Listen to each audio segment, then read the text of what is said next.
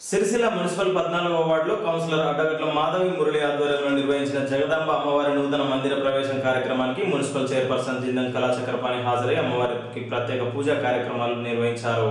అనంతరం మహా అన్నదాన ప్రసారం వితరణ కార్యక్రమాన్ని ప్రారంభించి కార్యక్రమంలో పాల్గొన్నారు. కార్యక్రమంలో కౌన్సిలర్ పోచవేని సత్య ఎల్లయ్య జాగిరి శైలు శ్రీకాంత్ సత్యనారాయణ నాయకులు Gaddam Chandana Bhagavan BRS party పట్టణాధ్యక్షులు Chindam Chakrapani urban bank director Nelula Srikanth TRS party senior నాయకులు అడగట్ల మురళి తాటిపాముల లక్ష్మణ్ స్థానికులు పాల్గొన్నారు.